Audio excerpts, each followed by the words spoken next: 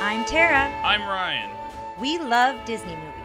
So we decided to watch them all, from Snow White. To Frozen 2 and beyond. Each episode will watch a different Walt Disney Animated Studios film and tell you all about it. Did we like it? Does it hold up? Who's our favorite hero? Or villain. We'll give you history and fun facts about each movie.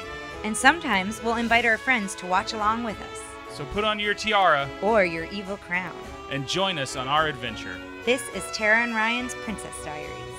Hello, fairy tale friends. It's Ryan. You know me. And Tara. Yes, we're here for a mini tale uh, for Tara and Ryan's Princess Diaries. Uh, today, we are doing Turner and Hooch, as as requested by one of our top fans, Richard, on Yes. the Facebook group. Richard and I, of course, old uh, band mates. Not a cool rock band, you might think, but SMU. but, but, but a marching band. Um, so just a couple things at the top. Number one, we are our studio Studio J is going through some um, uh, renovations, uplift. an uplift. It's getting an uplift. So It's getting a makeover. We've been trying to figure out how to record the podcast and do that sort of thing in here as we're doing the renovation. So we're like holding our condenser mics, which you're really not supposed to do, and trying to keep as still as possible. Uh, until we get and- new. until we get some new equipment, some new like places to put them, things like that. I will say, I like holding them. I feel like we're in like a fireside chat or like a cozy little. Well, okay, but now imagine when you're doing a full episode and you've got your whole thing of notes that you're flipping around and you have to hold use one hand. Do you think that's going to work? Yeah, probably not, but I enjoy it right now. We'll see how this 45 minutes goes. Ask me at the end if I still like okay. it. uh, number two, uh, we're going to get into this is a spoiler for the movie. So if you really, for some reason, want to go in spoiler free to this movie, I think you should go in with this one spoiler. Stop the movie, stop the podcast, watch the movie. But for everyone else, we're going to spoil this right up front. The dog dies in this movie, and it's we lose Hooch. And We lose Hooch, and it's- Devastating. It's yes, It's So- beyond devastating, actually. And we'll go into it in a little bit. But what I will share with you is I had never seen Turner and Hooch. I've just seen like the main clips that they share in the trailer and on Right. TV over the years. I knew that we lose Hooch, that Hooch I dies. told Tara at the beginning, and I feel like for a few minutes that painted your version of this movie, like you're kind of against I the. wasn't into it. You're like, and then I got it- into because there's it. the scene of Tom Hanks being like really uptight, yeah. and you were kind of like, "What is this movie?" And then I got into it and then I loved it and then I forgot and then I remembered as the dog the dog gets It is. shot. It is not a quick scene. and what I want to talk about it when we get there. I Yes, kind of want to talk is- about a couple of other things. it was rough because I've seen you cry in movies before, and it's usually like a quick scene or whatever. I audibly I was- sobbed. Yes. Like vocal vocally I was upset. I was sobbing. I was streaming tears. Yes. It was I was hugging the dog, our dog. I had bad dog dreams that night. Not great. yeah. Um so just you know, there's a website I think we've talked about it like doesthedogdie.com where it just tells you you put in a movie it goes yes the dog dies And or this is on that. This is this is I think the worst dog death and we'll get to it that I've seen and not that it was like I take that back. There are movies that have way worse dog deaths but they're typically rated R. This was like let's spend this whole time getting with this character and then kill mm-hmm. them and it, it was you know on top of it being a character you've learned to love over the course of the film it's also a dog so if you're a dog lover like it's it's double duty and it's rough Yeah, or an animal lover in general. animal lover in general Uh, so how it connects to Disney? yes so It, loosely it does connect it does. listeners. A couple things. Number one, this is a Touchstone film. Touchstone film. We've done a Touchstone film before. Who framed Roger Rabbit? That's right. And it's the Wait, same year, 1989. the Ra- Roger Rabbit. I believe was eighty seven. So this is Oh, after okay. Roger Rabbit. Um, I. I, I'm shocked you couldn't tell by the the technical leaps this movie made from Roger Rabbit. Um, so it's Roger Rabbit was so ahead of its time. I this feel like. movie feels like it could it could be it's 100 percent an 80s movie, but if you like it could be in any part of any the part of the 80s. 80s. I, agree think it, maybe that. after about 83. Well, I mean, it depends on where Big is. It definitely feels like post Big Tom Hanks, and it's like kind of a B Tom Hanks, but it's still. I mean, B Tom Hanks is really It's good. still a everybody there's else. there's a few really bad Tom Hanks movies. Um, this is you know this is this is a solid B. I think. it is rated PG. Uh, and the other way that it connects to Disney is when they were pitching. We've talked about this on another episode, but when they were pitching Toy Story to Tom Hanks and having him voice Woody, they did a I don't know what you call it, a mock up A mo- a yeah, they did. They did some. Uh, you know, I feel like I had the word till you said. I don't know what you call it. Oh. No, it's, it's not your fault. Um, but like, uh, they did Woody animation to Tom Hanks being like, "Don't eat the car." Like, Yeah, had him d- to his yelling, and if you love a Tom if Hanks you yell, love Tom Hanks yelling, which I do, this may be the yellingest Tom this Hanks may movie. be the top of the Tom Hanks yell. and it's, it's so all good. good. I rarely heard him yell and have it not be that like, "Oh, Hooch, don't eat the car." Like it's, It's- the whole thing is It's just so great. it's it's It's really good. top to bottom like peak Hanks. Now, if you're into Tom Hanks a little more than the normal person, this is also a very good movie to watch because there's a lot of Tom Hanks. So he's about 33 Yeah, is what we came out on yeah, I think is what we looked early at. 30s.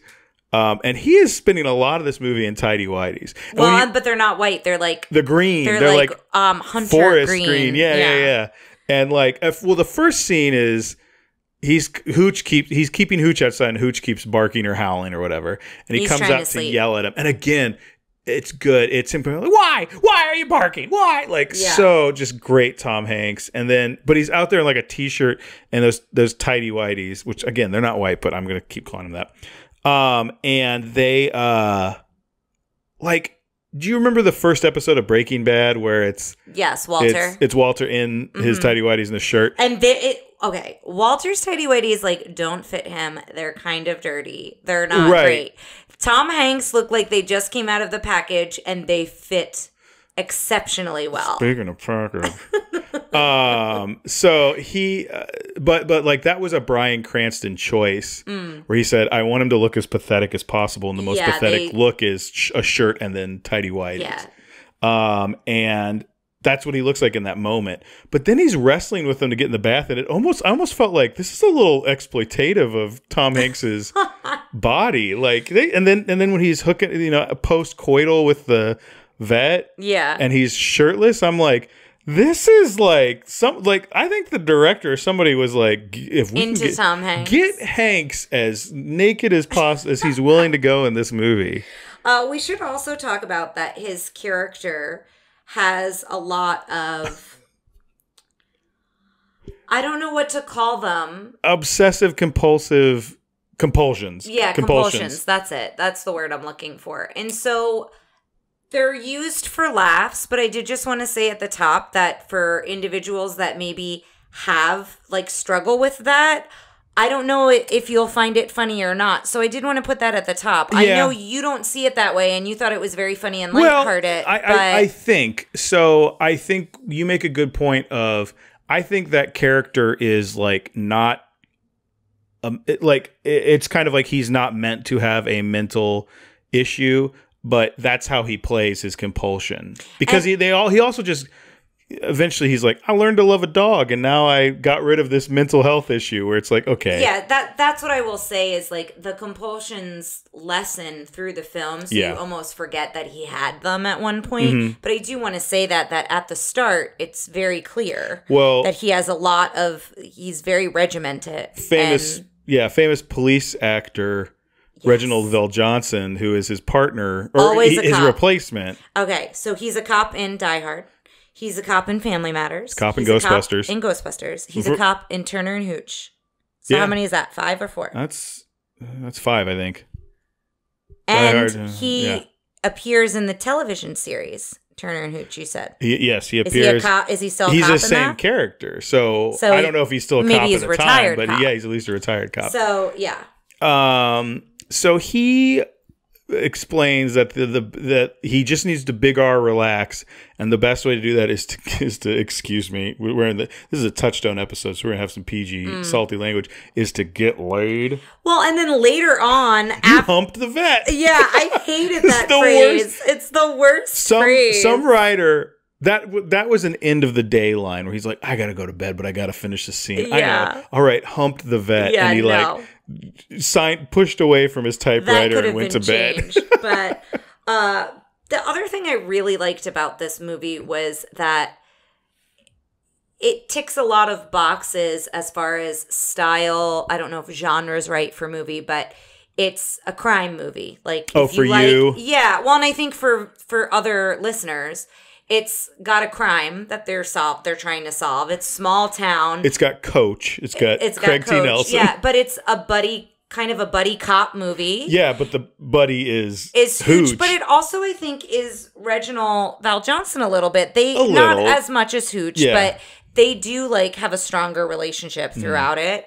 So you've got that going on. It's a little bit of a romantic comedy thrown in there because there is a little bit with the vet. the extremely thirsty vet. Thirsty. I mean, she saw the dailies of him running around in his underwear. All I'm Must have saying been what is it like good for her for putting herself out there. She like oh, and lets she puts herself out there. She is very sex forward, and like it's fine, but it's just like I thought it was it's great. refreshing. Like it's something you don't normally see in those movies, and she's just flat out like it's it's just it's just funny to see someone be so um again sex positive, and then the way they show that they've like cut they kiss.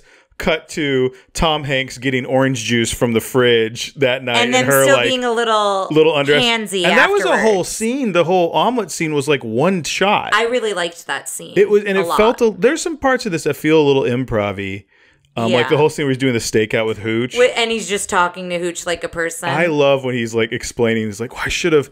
He go, He's like, you know, I should have done it. I should have turned in my papers. I had them done. It was just, you know, the vision thing was going to keep me out of the Air Force, and, I, and it's just very. Yeah. It's not particularly f- a funny lines that he's giving, but it's just funny that like it's this very serious goofy conversation like But it's a very serious conversation he's having with a a, a, a dialogue partner who cannot respond But I do think it's relatable if you are an animal lover, if you have pets, especially dogs. I Yeah. don't necessarily talk to our girl lady quite to the extent that Tom Hanks does in the in the stakeout scene, but I do have full conversations with her. And Oh, yeah. sometimes I talk to her and you think I'm talking to you and I'm talking to her, you come downstairs yes and hear oh i'm wondering who you're her. speaking to A lot because of times I sing to her. So like like today when we were going to the park, I was like singing a little song to get her like Yeah. ready for the park. well you also were like do you want some water but she just put up her ears Yeah. when I said P A R K. so so sometimes when you say like you do lady voice it's a little you know like hey dog you know it's Yeah. Mm-hmm. a little sing-songy and i can tell it's not to me Yeah.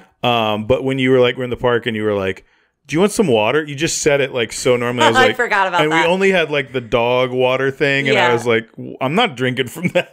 like, like what are you talking about? Um, Uh do you want to go through the the plot kind of quickly? Yeah, I so I think I had started to say this and then we Oh, kind so of sorry, went so No, sorry. that's fine. We kind of went in another direction, but it starts with the plot. I really like that Tom Hanks is in a small town. We looked it up. It's Cypress Beach, California. Mm-hmm. And the whole idea is he's moving from like this small town to the big city to be a cop in Sacramento. But I love that he knows everyone. And it happens throughout the movie like when they get Ernie's car and he knows Ernie. Oh, he, they comment. You know, it's a scene in like a lot of cop Yeah, comedies. like- we have to commandeer your vehicle, and then as soon as he the like, "Ernie, move over!" Like he knows who's Yeah, and then Ernie's in there, and it, and it's Ernie's mom's. Like he's just learning to drive. It's a teenager, but I like that throughout the whole film we run into locals, and Mm-hmm. he knows all of them, right? And it's very clear that he's been helping them, and like the one woman who bakes him muffins all the Yes. time, and and then Amos, who I loved, who uh, Oh, who's I really li- owner. I really liked. I think they got across the relationship with Tom Hanks that he puts up with the dog, but he genuinely cares for Amos. And he genuinely, like, he doesn't just, yeah, yeah, sure. Because he was saying, there's something suspicious going on across the way. He lives in a junkyard um, on the water, and there's this seafood plant across the way. Yeah. And Hooch is always barking. His vision is poor. His hearing's poor. The Amos's old man, is, yeah. Amos. But Hooch always is hearing something going on late at night and kind of alerting him. And I like that Tom Hanks doesn't really dismiss him totally. It's in the back of his mind, but I but he takes the time to like. uh, There's a bit of there where he like kind of feels for Amos as an old man. It, it feels like he really cares for Amos, and even though maybe he doesn't necessarily believe him, he's like kind of has some sympathy for this old man living on a barge by himself. Yes, yeah, and he checks in with him every day. And he Mm-hmm. even warns Amos, he's like, Remember, I'm leaving. And he says, the new guy, he might not check in with you every day like I do, but if you have any problems, like Yeah. I'm showing him around to let him know Well, that you're here. So Tom Hanks sneaks onto the thing and they play also Strauss the the the theme from 2001 and uh Hooch comes flying out at Yeah. him and Hooch does this bit where he will put his mouth on someone's neck to like kind of pin him to the ground. Mm-hmm. Um and it's funny watching those I love watching like look at this big mean dog and you can tell the dog's kind of like like but like they've added like really like scary dog barking over it. Mm-hmm. But yeah, I remember Amos comes out. He's like, he's like that dog, you know, something like that. And Amos is like, oh, he didn't even break the skin. That dog loves you. Yeah, that Like, dog loves you. Yeah. it's really great. I did have a question, and I don't know that we looked it up. Uh, one was the specific type of breed, and it was an ancient A- French breed. A uh, Dogue de Bordeaux. oh, Uh, Doug- voulez- voulez- voulez. all our French listeners. Yeah, sorry. Are upset. Uh, I don't know that we have that many French listeners. The other question I had uh, was Did this give that breed a bad name? Because they do present Hooch as very aggressive. It's very clear. Aggressive is maybe the wrong word. I don't. I don't really want to. Speaking of dogs, Speaking of dogs, uh, I don't want to label Hooch aggressive, but he's very particular on who he likes. he's very protective of Amos. Uh, Mm-hmm, Yes. Above all else, he's protective of Amos, and we see that very clearly. He like he likes uh Scott, Scott Turner, Yeah, yeah. he likes Scott, but there's some kinks that need to be worked out there. But it's very clear. well, Scott is uptight. Yes. And the other thing that Amos says that Scott says later is anger, he really doesn't handle if you come at him with anger. I'm glad we're getting all this dog background for this particular episode. Yeah. But Well, if he comes at him with anger, which I think approach with animals is very key. I think mm-hmm. how you approach an animal God. How you approach an animal, I think, makes a huge difference, Mm-hmm. right? In your tone of voice, in your body language. It's the same when you approach another human, another person. So I think it's important we mention that there, but I was curious if after the movie, I mean, I don't, I don't know anybody who has that type of dog. I don't Like, either. it- uh, to me, when they were like, it's a very specific breed, I was like, oh, that looks like a, just a mutt weird type of dog. And it's it's the same breed of the new show. Like it's this. I was like, oh, so there's a breed. Let's hold on one second.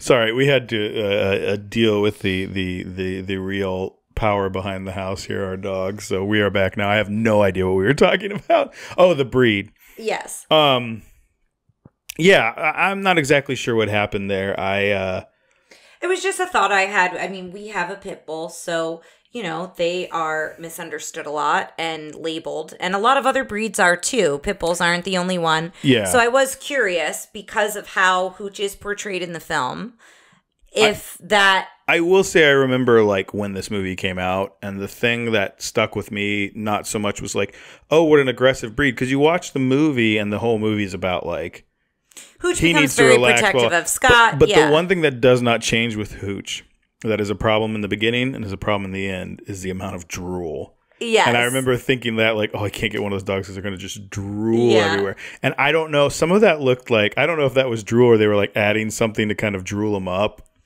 I'd be interesting to know. I mean, I'm sure there are dogs that drool that much. I mean, I've seen when Lady has like the spittle. The, Yeah, what do you say? It looks like you're eating a shoe and the shoelaces are. yeah, yeah.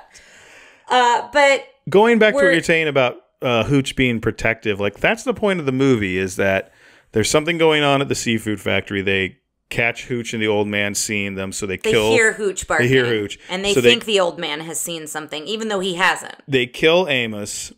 They try to bribe him first. They try to bribe him first. Yeah. Okay, we don't have to get into like every little minute detail. They kill Amos, and then the point is that Scott Turner goes, "Well, Hooch is a witness. Like he believes, you know, there's not like." A discovery moment of or an aha. He just goes, I think this dog because he goes, he goes, could the dog like He goes to see someone in a well? and asks her that yes, question. he tries to leave him at the vet, but then he asks him the question, like her the question Could of he identify? could he someone? identify someone? She's like, well, no, they don't see in two dimensions. Um, so, but she could he could smell or hear it. Yeah. So then later, when he's at the police station and that one of the guys is in the wedding that's letting out across the street, he like leans out the window and starts barking and then goes starts after going him. crazy. Not Yeah. crazy, but starts like really wanting to go run Right, after right. this guy, and then that's where Ernie picks up. I appreciate your uh, commitment to making sure you're not using like bad term. You don't want the podcast to give this dog a bad name. No, either. I don't. No, I don't at all. I think it's important. Uh also, I just want to say it is not a good idea to feed your dog chocolate, Chocolate chip cookies cookies. and beer. It's a ve- that was a thing they said in, in some of the in the uh, That's what Amos feeds him. But Yes. I will say chocolate Scott is toxic to dogs. Scott does go and buy a hundred dollars worth of Ninety seven. Yeah. Whatever. Yeah. of dog food and shampoo for baths and breath bones and you know all these things. So he is trying to feed him a little bit healthier of a well, diet. that's a scene. So he brings who like it's this, all this stuff where he brings Hooch home. Hooch uh, tries to go back to the vet because there's a what's a what's a lassie dog it a called? collie? A collie. There's a collie there um, who he is in love with. Um, and they make a big deal, which will pay off at the end by letting you know that Hooch still has his testicles. Yeah. Like they are loud and proud. And um, he uh, eventually Scott brings him home, leaves him outside. He's barking, and he's like, "Okay, fine, you can come in." And he like takes him to the house. He's like, "This is not your room. This is not your Yeah. room. These are the rules." Blah blah blah. And he puts him in a room, Laundry room. a laundry room, and uh, he goes off, and I forget what he's doing. Like he's doing something for the case. Oh no, no, that's when he's buying the stuff from the grocery store. He's buying the food, yeah. Uh, and we actually watched this. We usually watch it and then do the recording. We watched this yesterday, so we might be a little rusty. And then there's that scene where Hooch is like breaking through the door, and it's a little cheesy because it's definitely like a fake dog head, and then like it's very thin balsa wood he breaks through, and then he just tears apart the house. And like the well, scene I thought was fun. A lot of the stuff with the dog I really enjoyed. Like I think Tom Yeah. Hanks was good, but like. As But I a dog owner, I was really into the dog I think stuff. he played well off of the dog, right? Yes. Because the dog doesn't talk, doesn't you know what I mean? And so I think the relationship between Tom Hanks and the dog. I'd love to know if there are any behind the scenes or any interviews with Tom Hanks Mm-hmm. about how he enjoyed his time working with that dog. Well, there was an interview where he made a big deal where he thinks the movie would have done better if they didn't kill Hooch. He thinks that really hurt the movie, which Mm. I can kind of understand. Um, Oh, I don't like the animal control scene. I made a note of that. Oh, it's right after Amos dies, and they call basically Hooch sits with Amos after he's been Oh, killed, which is so sad. And then somebody sees it walking by and reports it, and that's how the cops are called. And so when cops get on the scene, it's before Scott gets there. And uh, they're trying to get the dog away from the body, and they get attacked. And so now the dog's in the house, and Mm-hmm. Everybody is afraid to go up to the dog because of that and the animal control they like try to wrangle him and then the one guy keeps saying bad dog and i basically screamed at the tv Oh, and i yeah. was like he's not a bad dog he's a scared dog and he's a sad dog because his owner just died like I feel like you. I, I mean, and I guess I, if you were a bad animal control person, you wouldn't like videotape it and put it up online. But like most of the stuff we see is the people finding pit bulls and like really spending a lot of time getting them to trust them and like come into the car so they can get them to a shelter or whatever. And so yeah like, but i'm sure really for see- every like one person who's Yeah. kind there's someone out there who's not Yeah, yeah, yeah. and you know animal control was just portrayed as like this intense way to get hooch and then you see Well, like- scott come in Yeah. to try to and Scott still is not necessarily kind, but he deals with him a lot better, you know. And he does that whole thing where he's got him in the the the stick with the lasso at the end, Mm-hmm. but he's walking him slowly because he can't get him in the car, which Yeah. is a fun scene. Um, let me see. Let me. s- What else should we talk about with this? I you The other thing I wanted to mention is when there's violence and Amos it's a knife Oh, yeah, that's yeah. thrown at him. We don't see any blood. We 'Cause don't it's see- PG. Because it's PG and Ryan made a point to say that and I was like, "Oh, that makes sense that it's PG." When Hooch dies, I like to, When getting Hooch worked shot. up even talking about it. When Hooch is shot, it's basically this end scene. There's a twist with one of the characters. let's let's not reveal the Yeah. the crime twist. Yeah, so there's a crime twist, and all of the characters kind of get into a shootout. crime and twist is like a lime twist. Stupid. Okay, go ahead. uh, get in a shootout kind of in this seafood factory, and Hooch is there with Scott, and then it's the other, it's the bad guys. yeah, Hooch gets shot.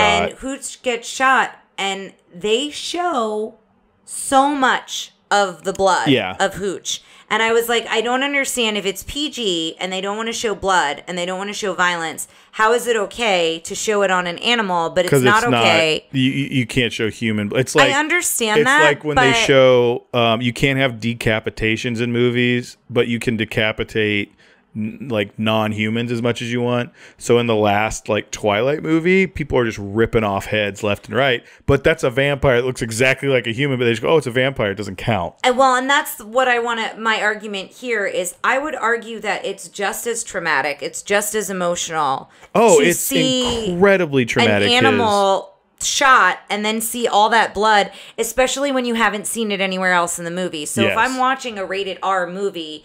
There's violence, there's blood, there's all these things, and it's there throughout the film, right? I mean, I think if they when they it- pull out the knives, there should be some blood yeah, on it to have it be so censored throughout the whole film, and then the big intense scene that's already going to be emotional. Yes. that's already going to be traumatizing and triggering for folks, and then add the blood into it. To me, was too much. So they apparently filmed a version where Hooch makes it in the other one, and they did um, research on both, or they did they did they did screenings of both, and and the test audiences tested the movie the exact same in both of them, but they were getting a more obviously visceral reaction to Hooch dying, so they just went with that one. That's yeah, why it's they chose that one. I, I will say, and it is a lot because it's like they bring him back to the vet, and That's there's a big oh my long gosh. scene I of them actually trying don't know how much him. more I can talk about. That's it. fine. Like It- it, actually, my tear, my eyes are welling it's up with very, tears. It's rough. But to skip to the end, the good news is uh, Hooch and the collie Get together. get together and, And have puppies. Have puppies, but it's again Before Hooch has before died. Hooch has passed. yeah, it's not some like beyond the grave. Um, but uh, he- he- what did I refer to as the lady in the tramp situation? Because their Yes. do- their pups are apparently like three collies and then one And hooch, one hooch, and yeah. like again they come home, so it's Tom he Hanks gets moved called in from work. He he Yes. uh stays put. Well, first he helps Reginald VelJohnson. Like the big joke of this movie is it's a very small town, like you said, and no crimes happen in the beginning. They're like, yeah, we, we find Mm-hmm. The stolen biggest crime bikes. is stolen bikes, and that's what Reginald. That's why he applied for the job. Yeah, he doesn't he want a place with yeah. any crime. And then he, at the end, he like does the thing with the big bolt cutters and opens the thing, and there's all these bikes, and he's like, "I solved the case," which is great. Yeah. But then they're like, "Your, you know, your wife called," or and and it's like he's at it again, Mm-hmm. which I think works if Hooch had survived. yeah, it You works know what I'm either saying? way. Mm-hmm. Because they just say he. Although she was, she was really good with Hooch. So I do think if it was adult Hooch, I think she had more command. He listened to her. Mm-hmm, Uh, whereas this pup doesn't seem to listen to anyone. And he was so cute because he was like thin and had like the big ears and really everything. He was a very cute looking dog, and that's how it ends. And then the whole credits are apparently on like slow motion of like Hooch running and all this Yeah. stuff. By the way, uh, There's Hooch played by Beasley the dog, which is also the name of my dog growing up. There's also a lot of slow motion shots whenever he shakes and The- runs, so you can The see slobber all the, gets gross. But not this, not just the slobber, but the folds, like when he shakes when- around. well when he was running his like cheek flaps His clap jowls. under his under his chin when Yeah. he comes down. It was insane.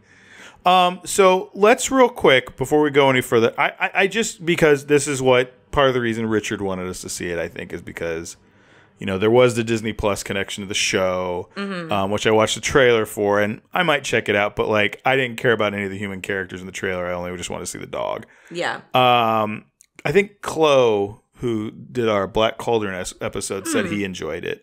Um, that it is someone playing. So the the basic premise, as far as I can tell, is someone is playing Tom Hanks's son. Tom Hanks has passed and gives his dog, who he calls Hooch, and is a Hooch breed.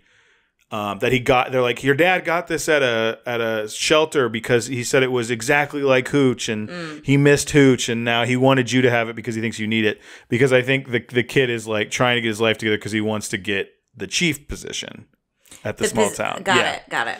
Um. So yeah. So it's that's kind of the thing, and then Hooch ends up like there's a scene where like he tips something over and there's money underneath it. That's the thing is like I did like that this crime that they're trying to solve wasn't like a huge mystery. Like it it it it it worked enough where he was trying to figure it out, but it wasn't like I will super say- twisty and turny. But it was like, and it's just like they're trying they're laundering money through the seafood place. And I will say that Hooch does things that I think if you were a trained police dog, you could probably have them do some of those things.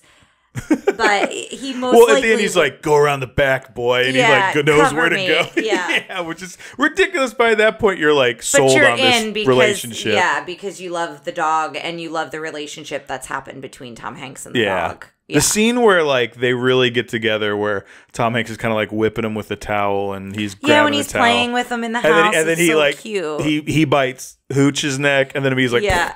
like spitting yeah, out there. I did like that part. It is. That's really the best sweet. part of the Oh, movie is the in my dog notes stuff. and overlooked it. when he's trying because because again like i was saying there's all these scenes where it's like tom hanks is quote unquote frustrated with the dog but you can tell the dog is having like the, the time Mm-hmm. of his life i watched a movie um, late night after going out with a friend and then crashing on his couch and we watched a movie when we got back that was sci-fi channel called rottweiler and it was about this like terminator-esque rottweiler so it was like you know like metallic skeleton with Mm. you know rottweiler flesh over it and there were all these scenes where this Rottweiler would jump on some woman. I think it was this woman, this one scene, and she was like covered in, in, in Karo syrup, like red Karo mm-hmm. syrup to look like blood. And the woman's like, no, no. But like, and the, the, the, the, the sound is like, like this noise. But then you see the dog, and like, it's a B movie, so they did even worse than Turner and Hooch. Mm-hmm. The dog is like lapping up the syrup, like, oh my God, this tastes so, like, so happy. And then they'll like cut to like a, a puppet head, and the puppet head looks like so vicious and gross. And then the, the wide shot is the happiest Rottweiler. And mm-hmm. Rottweiler has a little stump, but the stump is like, wagging.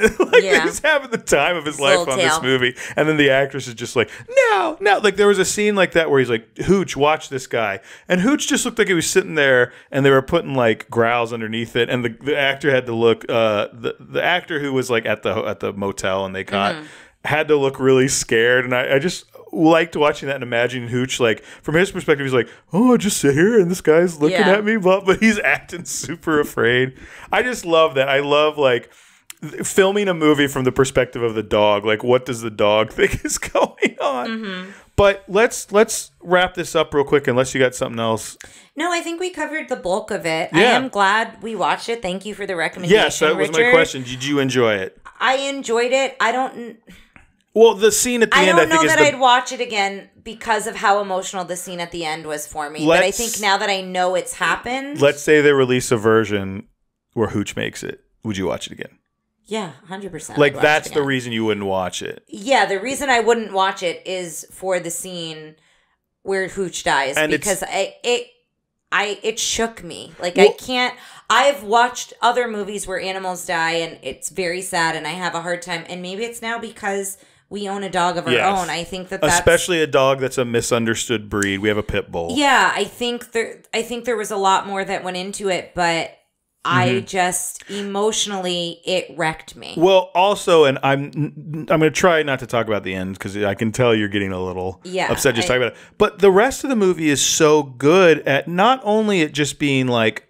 Like remember when we talked in NeverEnding Story of my sister not paying attention? She's like, "Is that horse gonna die?" Mm-hmm. Yeah. it's it's not only just a dog; it's a dog that you've come to love over the And course of this movie. character. That they've they've done such a good job of making you care about, and you've seen this Mm-hmm. journey of like, even if you are you know a good dog owner, you can see how people would perceive him as a bad dog at the beginning. Now, not only like you know he's moved, he's had some character development as well as Tom Hanks's Yes, character. Yeah. Um, what was I gonna say there at the end? Oh my gosh. Um, I don't know. It, it was gonna be spectacular. It was gonna blow your mind. Yeah. Anyway. Uh, so yeah, guys, uh, check out Turner and Hooch, knowing that one part at the end that it's it's it's gonna wreck you. Um, I will tell you. Uh, this was I was gonna say. I will tell you, the audience, what I told Tara. Uh, when they called cut, that dog got up. They gave him a bunch of bunch of treats and a bunch of belly rubs. He went to craft services and probably went to town. It was it was fine. It he lived a long life. moment. I'm just telling you, he's I fine. He- appreciate it. It didn't was help me in the moment. It- it- it's acting. That was a wonderful You act. don't know how long he lived. Oh, I thought you were going to say you don't know if he really died right then, and I'm like, I feel like we would have heard about it if that had happened. I, I mean, you know, have been a real uh, issue yeah, with I'd that like movie. to think that they treated him well on set uh, because of the relationship with Tom Hanks, but I, I don't know. You don't know how. I will try and find out more information about Beasley the dog and I would post like to know, I will yeah. see what we do. But thank you guys for listening. Uh, and uh, next next time is our big 100th episode. So send in those questions ASAP, uh, and we'll see you next time. Take care, listeners. Thanks for listening to Tara and Ryan's Princess Diaries. If you want to tell us your favorite Disney villain and why it's Gaston, send us an email at trprincessdiaries at gmail.com. Or you can send a tweet about how great Maleficent is to at TRP Diaries. Check out our Facebook group by searching for Tara and Ryan's Princess Diaries. Tara and Ryan's Princess Diaries are available on iTunes, Stitcher, Spotify, Overcast, and many more. Wherever you hear us, please be our knight in shining armor and give us a five star review. Thanks again, and until next time, remember to always live happily ever after. Música